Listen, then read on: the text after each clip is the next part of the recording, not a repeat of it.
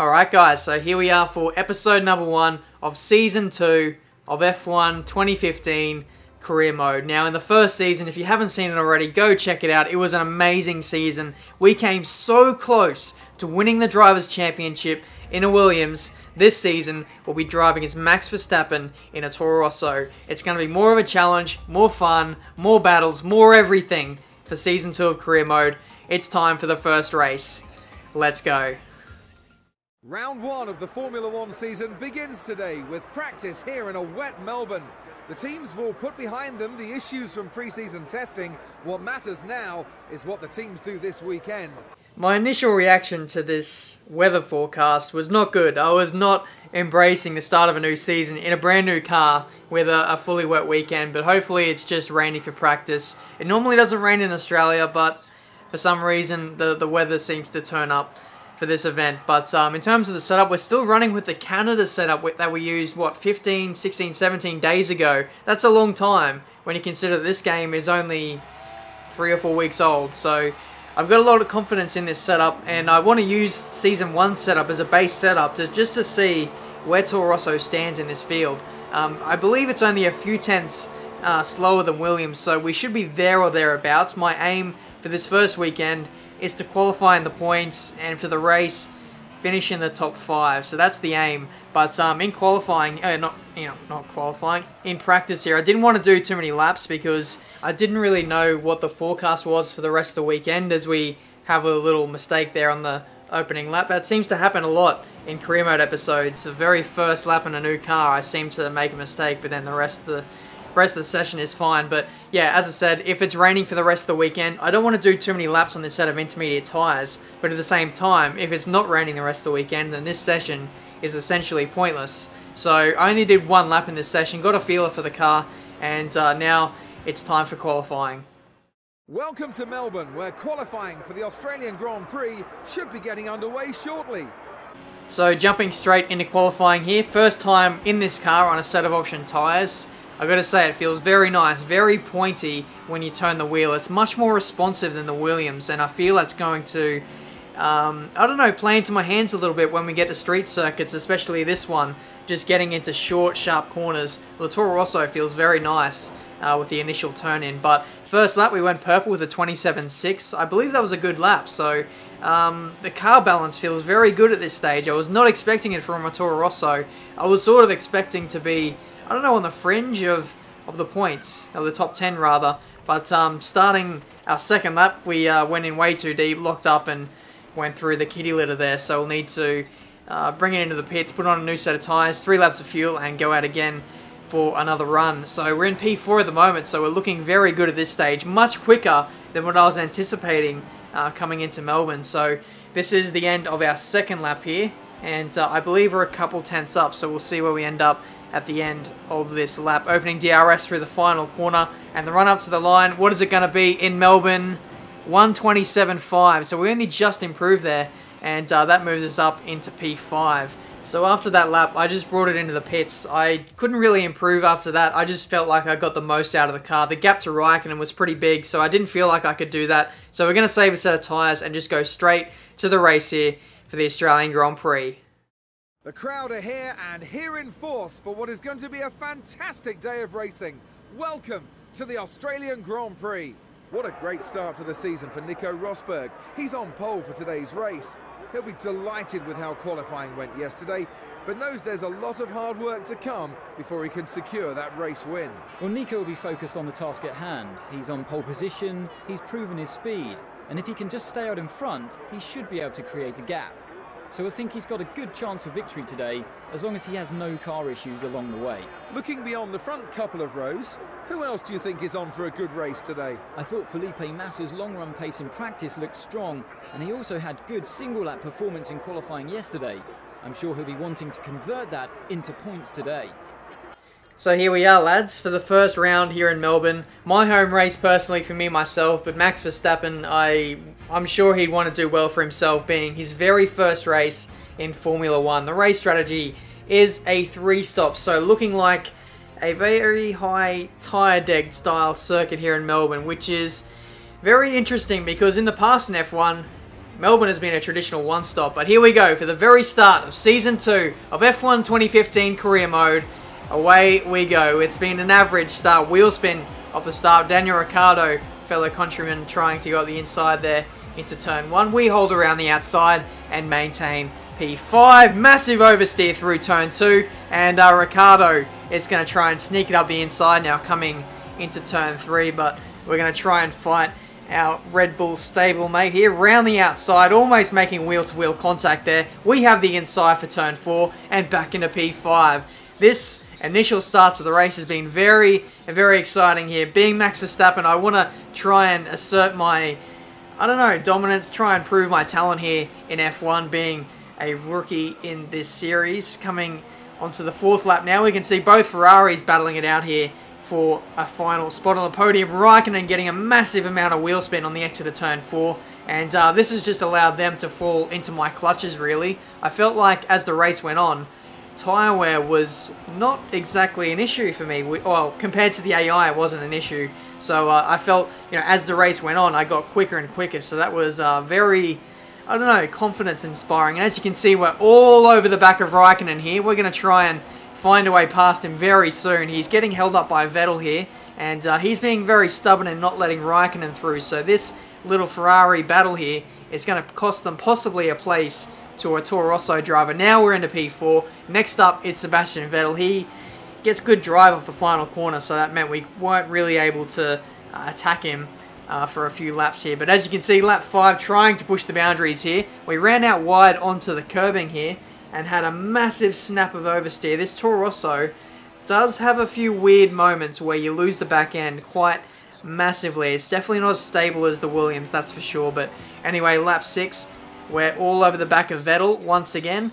And we're going to try and sneak it up the inside here with DRS.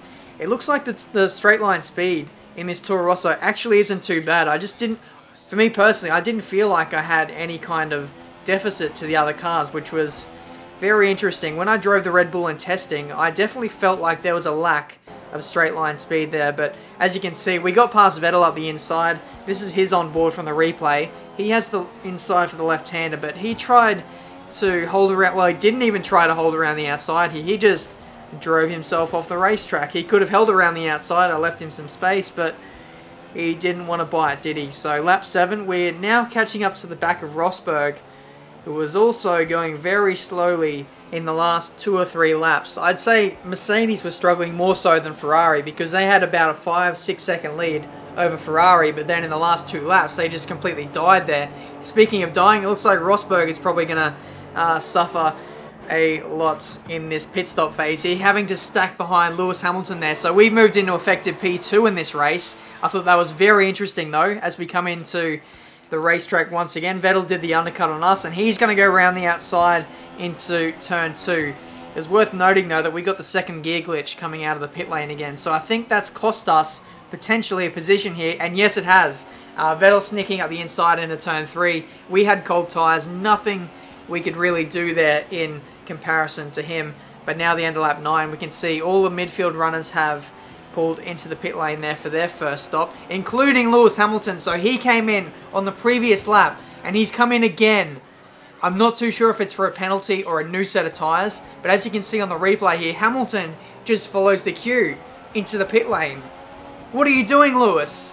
Is, is this another dud Mercedes strategy here where they just... I, I honestly don't know. This game is full of glitches sometimes, but I'm going to take it. Lap 10, we can see where giving Daniel Kvyat a massive hurry up through the final sequence of corners here in Australia. But um, yeah, he was yet to make a pit stop, so that's why he was going so slowly. He allowed Vettel to get away by a few seconds now, and he's broken DRS. So this next stint of the race is going to be a little bit interesting here. But Rosberg, after getting a very slow pit stop, he is now in second place. So this race has massively changed. The, the two Mercedes cars, they were dominate, dominating on lap 5. Now we can see Vettel has a massive lead. Rosberg is in second and Bottas moving into P3 momentarily before we're getting P2 again. So Vettel has come in for the undercut. I'm coming in the very next lap and Rosberg has stayed out for another lap. So very interesting strategies at play here. I believe the guys who came in on lap 10 may possibly be doing a two-stop What's going on? What's this? Go. Pick Picru. Service him. Wow. I, I don't believe this. I've seen this countless times in Season 1 of Career Mode. The AI getting stuck in the pit lane. Finally, for us, we've been stuck too. So don't tell me this is gonna this is gonna cost us. We're not gonna finish this race. We're not gonna leave this pit lane, are we? 50 odd seconds have passed. We're now a lap down. Our race is over. And that's a win for Nico Rosberg at the Australian Grand Prix here in Melbourne. What a result for this German driver. What a fantastic result for Nico. He'll be so happy to start the season I'm so done with this game. The AI, after I retired from the race, they continued on, and I ended up in last place. How is that fair? Honestly, Codemaster, sort out your game. This, these glitches, they've existed for the last three or four weeks, and still, they have not been fixed. You, uh, I don't know. I'm honestly out of words, guys, but I thought long and hard after retiring from this race whether I should continue on to Malaysia or do this race again because I felt like you guys deserve more of a race. So at the end of the day, I've decided to restart this race. You know, I thought it was pretty unfair on you guys that you guys miss out on a tremendous finish for that race. Considering Hamilton was way down the order, um, we're just going to restart and go again. So here we go for take two here in the Australian Grand Prix. Once again, another terrible start as no traction users will often uh, come to terms with. But in the turn one, we go around the outside of Sebastian Vettel. No, we go around the outside of Raikkonen, my bad. So into P4 already, and in this race, I vowed to, I don't know, be a lot more aggressive, be a lot more forceful with my moves, and uh, just the overall race strategy, I suppose. So here we go, lap 2 on the back of Sebastian Vettel, and since I've already done, what, 14 laps in the previous Australian Grand Prix, I was sort of more in the zone, more, I don't know, comfortable with the car and how it handled on heavy fuel, so we should be a little bit quicker in this race overall. So going round the outside of Vettel, already on lap 2, we throw up the hand in frustration and move into the podium position. So now, lap 5, we're trying to chase down both those Mercedes cars. We know that they're going to be slow at the end of the stint, and here we are, lap 6. We've already caught up to the back of Rosberg.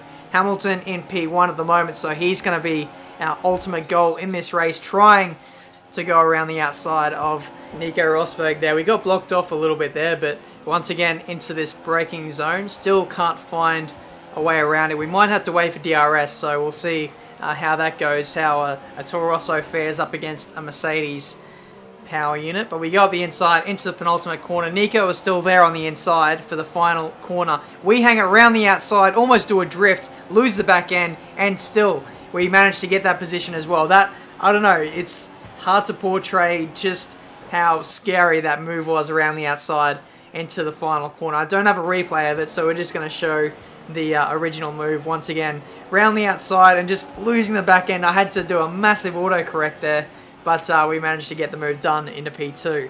So lap 7, I think we're coming in on the end of this lap anyway, so we can see Hamilton is struggling on his rear tyres, so yeah, looking very interesting in the second attempt here. We're definitely a lot closer to the lead of this race than what we were in the first one. Up the inside, into the pit lane. Hamilton going so slowly on the entrance to the pit, so we just took the move there. I don't know if it's illegal or not, but we didn't get penalised for it, so we're just going to continue on. Could that be the overtaking move that wins us this race? We're going to have to wait and see. The pit stop is fairly slow, and that was because we had to wait for Hamilton, so the move into the pit lane, it didn't account to anything anyway. So lap 9 we can see Sebastian Vettel going up the inside into turn 1. And does he get the move done? No he doesn't. So he stays in P3 at the moment. I'm losing my voice already and I've only been going for what 14 minutes. There's just been so much action in this race and I I don't know. I think I edit my videos a little bit too short and I have to squeeze in all this I don't know, shouting and stuff and trying to keep up. It's just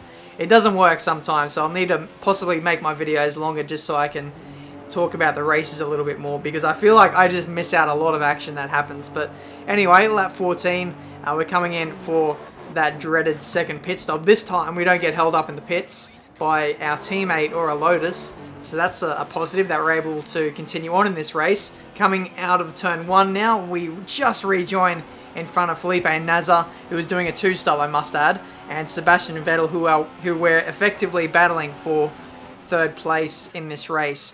So holding around the outside of Nasr there on cold tyres, it's so hard to defend from the AI when the, the tyres are so cold. I've got to say, our pace early on in stints is not good, but we continue to find a way to get faster as the race goes on. So that's, I don't know, very interesting. It's almost backwards to how I'm used to doing a career mode, especially like if you compare it to F1 2014 or 2013. You know, I was always faster at the start of the race or the start of the stints, and just as the tyre wear kicked in, I was nowhere. So it's it's a nice change, isn't it, to be faster than the AI in terms of tyre wear. So lap 21, we're coming in for another pit stop here, going on to the prime tyres for what should be our final run to the finish line here. So we're looking very good in this race. Nico Rosberg and Sebastian Vettel still behind us in this Grand Prix. But Vettel, for the entirety of this race, he's been very threatening. Once again, trying to hang around the outside. He just doesn't he doesn't think, does he? He just he can hold around the outside, but he just continues to run himself off the racetrack sometimes. But anyway, lap 23, we can see we're on the back of Daniel Ricciardo. He's also doing a two-stop as well, so it looks like the two-stoppers are playing themselves into this race very nicely with a good strategy. As you can see, following him through turn two there, we're going to have DRS and maybe sneak it up the inside into turn three. We do have fresher tyres, but for whatever reason, I was a little bit spooked didn't feel like a move was really on there. So we'll need to wait for another opportunity to present itself. Maybe some DRS on the next lap. But we're running out of time now. Lap 24 in this race. And the leader, Lewis Hamilton, is getting away a little bit. He's about five seconds up the road. So I think if we get in front of Vettel... Vettel? I'm looking at a Red Bull and I think it's Vettel. If we can get in front of Ricciardo as soon as possible we could potentially have an attack at Hamilton if his tyre wear is bad enough like it was in the first stint. But anyway, going up the inside into the third sector now. That's P2. Job done. And next up is Massa. So Felipe Massa has somehow in inherited the lead of this Grand Prix. Vettel on the attack once again into turn one. And he can't quite get the move done on Ricciardo, but I can tell you he did get the move done at turn three. So penultimate lap now. Massa leads this race. He's doing a two-stop. But what has happened to Hamilton? I have absolutely no idea. But as you can see on the replay here, the Manor car decides to park it on the apex here.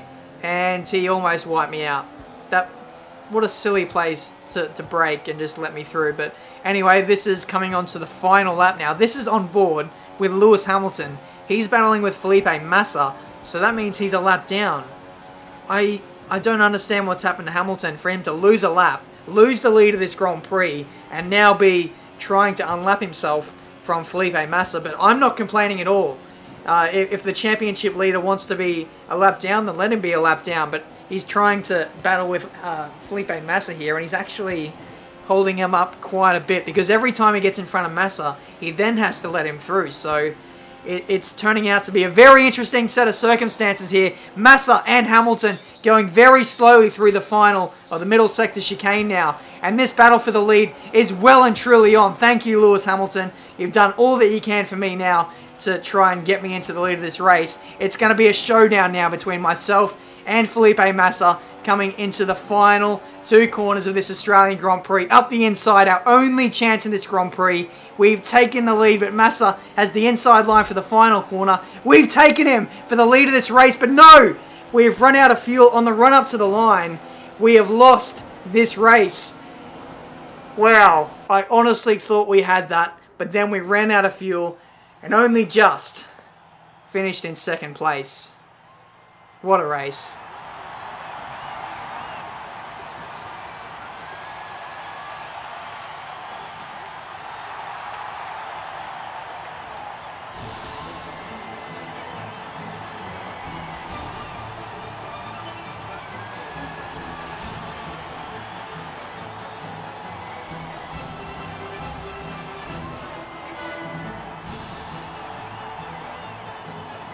At the top of the leaderboard after the first race here in Australia is Felipe Massa. A great drive from the very experienced Brazilian. Felipe is well liked up and down the paddock, so this race win will be hugely popular, especially it's his first victory since Brazil 2008, and his first at Williams. After all that excitement, it's time for a lie down, I think. Thanks for joining us and goodbye until the next race. Wow. What an Australian Grand Prix that has been first race of the season and we've pretty much continued on from where we left off in the finale in Abu Dhabi. Just two fantastic races in a row. You don't get that very often in career mode, but today Felipe Massa gets his first win since 2008. Uh, Lewis Hamilton finishing way down the order in 13th place. So this championship already has been blown wide open. Uh, we finished in second place. Just an absolutely crazy race. You could not have asked for a more dramatic Australian Grand Prix. The first attempt, uh, it would have been a very interesting race as well with Hamilton way down the order too. So I'm very interested to see how this championship unfolds now with the likes of Mercedes trying to fight back. They're obviously the fastest car on the grid, but what can we do and what can Ferrari do if we're just that little bit more consistent than Mercedes? Can we possibly mount a surprise championship threat and really uh, give these guys something to think about. But the likes of the two stoppers, they did very well in this race. Uh, was not expecting Felipe Massa to win that race. It almost came out of nowhere, 2010 style. So that's been this very first race of F1 2015 career mode for season 2. If you're new to my channel, make sure you subscribe. Obviously, like this video if you want to see more videos like this in the future. And um, that's pretty much it. First race of season 2 done. It's now on to Malaysia and China. Some of my more bogey tracks, but it's going to be interesting to see how the Toro Rosso fares at those two tracks. So until then, guys, I'll see you next time.